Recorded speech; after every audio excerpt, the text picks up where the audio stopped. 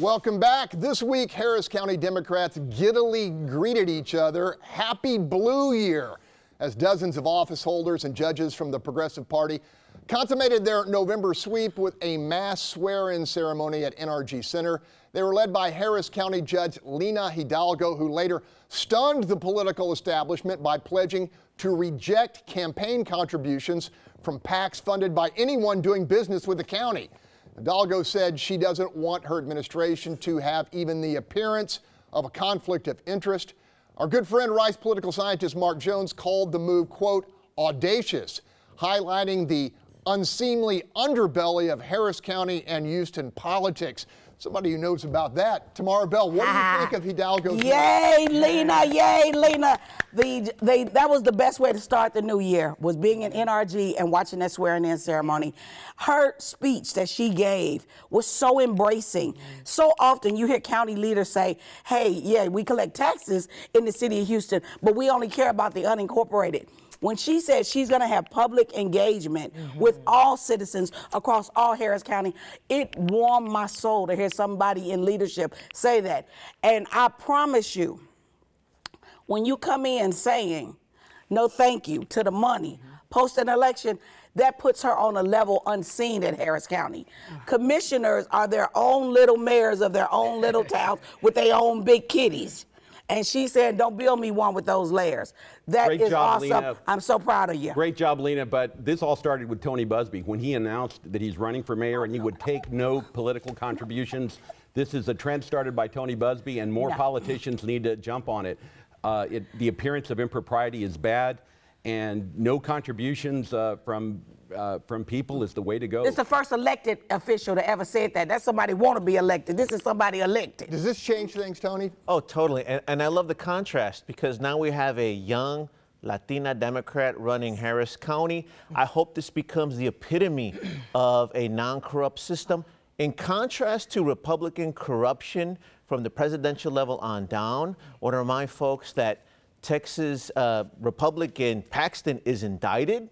He should have cleared his name by now. He should have let the whole issue run its course. I also remind people, too, Pima County in Arizona, they self-regulated and got rid of racist Sheriff Arpaio, who was a convicted racist, pardoned by the president, but the courts will insist that he keep his record on file. So we self-correct or we correct you. Got to point out that corruption is a nonpartisan thing. Well, you right, right, right, right. this is a little difficult to all this righteousness that's being spewed here on the stage when this is actually quite duplicitous in that Lina Hidalgo's um, most of her, many a, a big portion of her contributions in her campaign was from out-of-state money and and third-party money.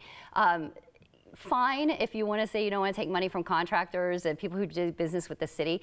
I'd rather have local money coming in that we could be accountable for as opposed to 580 plus thousand dollars that came in from George Soros, the Kim Ogg campaign.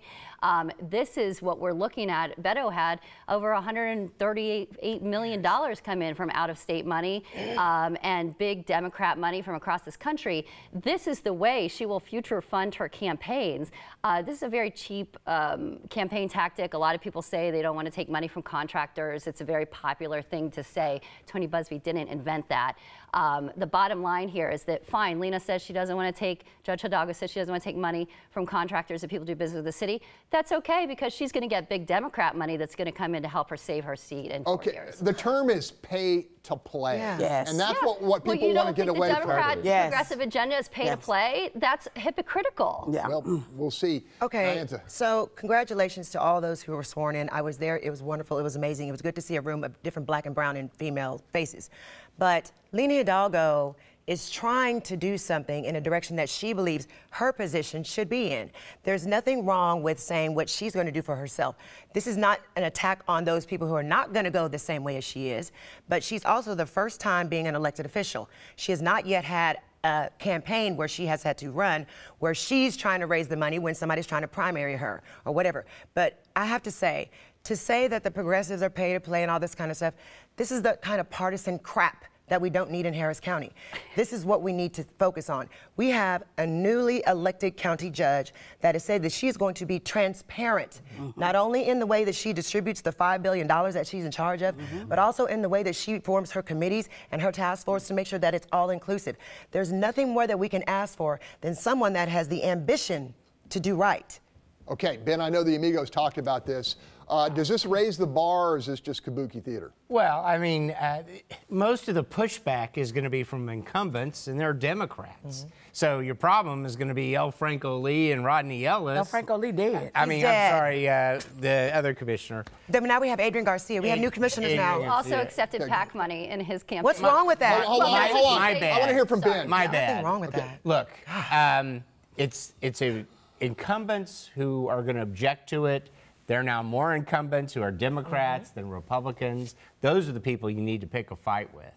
And as far as where we go with county commissioner, I hope she does well. I'm willing to give her a chance. Thank I could care less if she's Hispanic or African American or a woman. That's not a criteria for me. I just want somebody to stop the flooding, fix the flooding problems, the infrastructure. Let's go. But she hasn't demonstrated, and she certainly doesn't have the background needed in order to get the job done. Okay, final word, someone? Go I ahead. wanted to say, I believe that the swearing in was paid for by taxpayer money, and to say Happy Blue Year more, at once and more than once on taxpayer dime disenfranchises a good portion of Harris County, and that was a sad way to start the new year. Okay, now, I- Republicans- When, took over, when the Republicans I- took over in '94, it was Happy Red Year. No, it was when they swept Yes, out, when they swept out Year. every Okay, Democratic let's- judge, it was Happy Happy Red Year, multiple please. times at that swearing So, so, on so taxpayer since money. I'm one of the proud Happy Blue Year people that I even posted it when I was so happy to be blue, there is nothing wrong with freedom of speech. What does that say that the county tax dollars don't have to pay for what you If say? the partisan, if It's the not Democrat part- Party, Harris County me tell you Okay, ladies, we would've got to leave it for right there. We're going to break. problem. Up next, what you think actually matters. Feedback from